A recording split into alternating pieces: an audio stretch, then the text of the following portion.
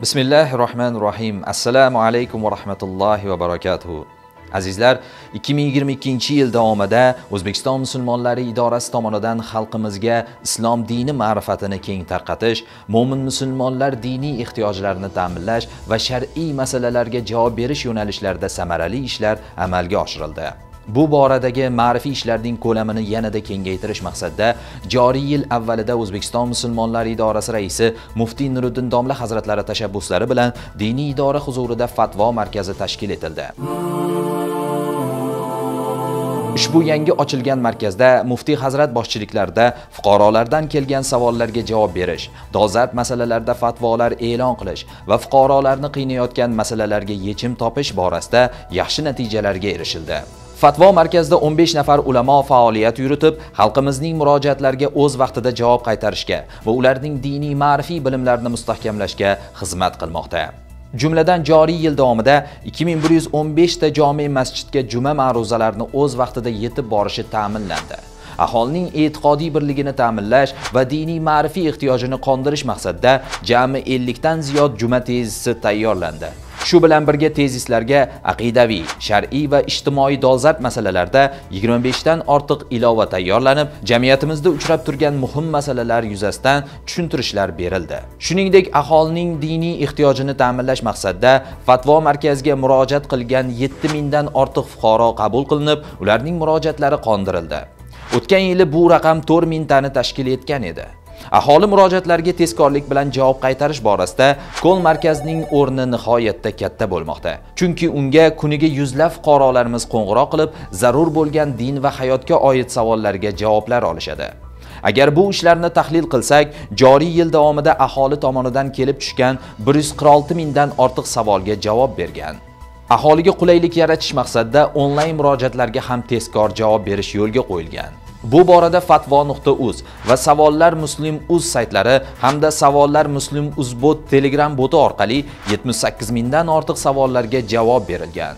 Umumiy hisoblaganda esa joriy yil davomida jami 230 mingdan ortiq savolga javob berildi.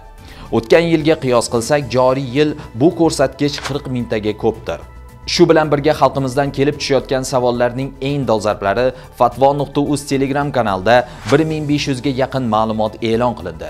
Ulardan 900 tasi matnli, 490 tasi video va 50 tasi audio savol javoblarini tashkil etadi.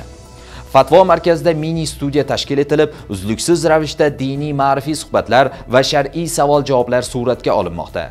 Jumladan Instagram va Facebook sahifalarida 500 ta YouTube kanalida esa 130 ta savol-javob va TikTok tarmog'ida esa 40 ta video savol-javob e'lon qilindi.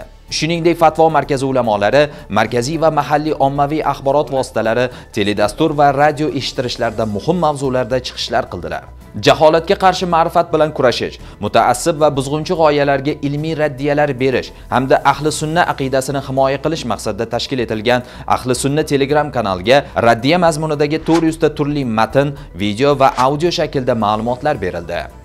Fatvo markazi tomonidan Fatvolar to'plami birinchi kitob Tahoratga oid fatvolar va dolzarb fiqhiy va aqidaviy masalalarga yechimlar nomli kitoblar nashrga tayyorlandi. Shuningdek, Muxtasarul Viqoya kitobi asosida esa 40 ta video dars tasvirga olindi. Fatvo markazi turli tashkilotlar va xalqaro hamkorliklar bo'yicha ham salmoqli natijalarga erishdi. Xususan, markaz ulamolari, oliy va umumta'lim muassasalari, axborot resurs markazlari, mahalla fuqarolar yig'inlari va turli tashkilotlarda tashkil etilgan jami 80 ta ma'naviy ma'rifiy tadbirlar, uchrashuv va muloqotlarda ma'ruza bilan ishtirok etdi. Islom moliyaviy xizmatlarini yurtimizda joriy etish bo'yicha normativ huquqiy baza yaratish maqsadida xalqaro konsalting firmasi bilan Fatvo markazi hamkorlikda innovatsion loyihalarni amalga oshirdi. Fatvo markazi ulamolari yil davomida fatvoga oid xalqaro anjumanlarda muhim ma'ruzalar bilan ishtirok etdi.